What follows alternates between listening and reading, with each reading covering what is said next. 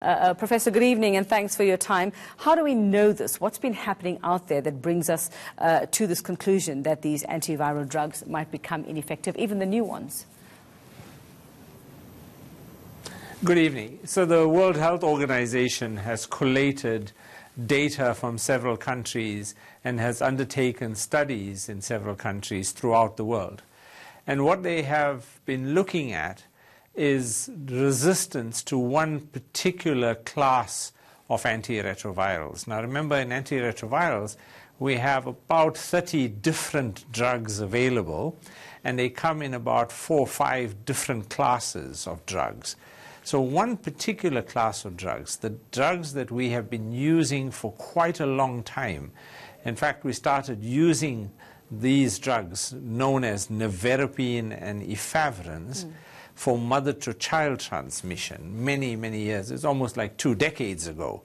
And so what has happened is that over time, high levels of resistance to those two drugs have been occurring. So when they did the survey and they looked at patients who were newly diagnosed with HIV and hadn't started treatment yet, they found that up to about 20 to 25 percent of uh, patients who haven't taken any drugs yet were resistant to these two drugs. And that's what the big concern is, and that's what the results show. Okay, so just to clarify, it's not all antiretroviral drugs then, it is just that class of drugs. So do we have substitutes for these then? Do we have a solution to that problem? Yes, so we've actually known this for quite a while. So it's not like, you know, this is dramatically new information we have been monitoring resistance to these drugs over many years. And so the World Health Organization, I chair its scientific advisory committee, reviewed this data about three to four years ago and made a decision uh, that we need to relook at what first-line drugs we are using. And so out of that came a new suggestion or a new guideline of what should be the standard first line set of drugs. Previously, these two drugs were in all of the first line options. Now, in the new recommendations from the World Health Organization, those two drugs have been dropped.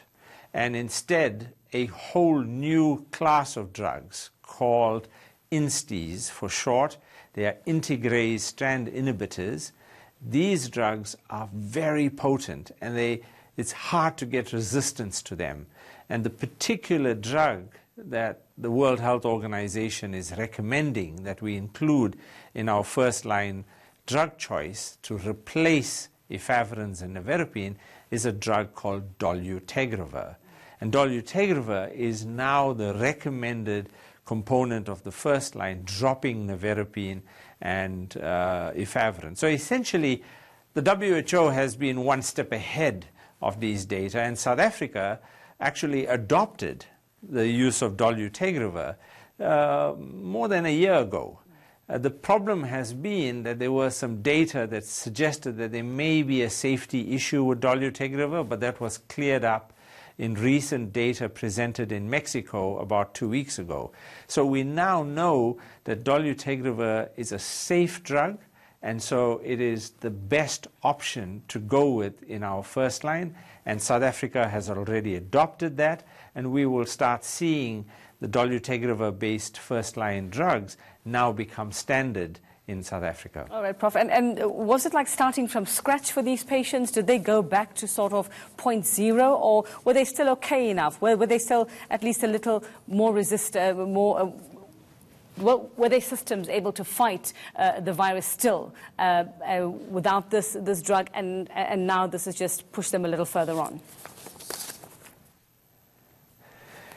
So one of the issues is that uh, because uh, resistance to these drugs is quite widespread, we've been using them anyway, and they have generally remained effective because when we treat patients for HIV, we treat them with several drugs at the same time.